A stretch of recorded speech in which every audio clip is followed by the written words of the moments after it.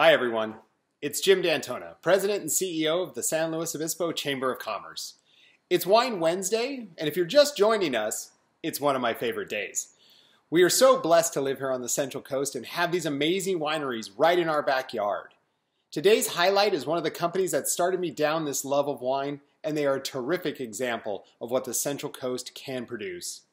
If you get a chance, take a drive out to their facility and enjoy some fabulous wines. Here you go. Hi, I'm Brian Talley, and I just wanted to take this opportunity to talk about some of the cool things that are happening right now at Talley Vineyards.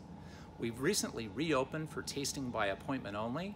We're offering bottle service to members of our wine club at the Rincon Adobe. And in addition, we've got some exciting new releases, including our first ever release of Gruner Veltliner, as well as our classically styled Talley Vineyards Sauvignon Blanc.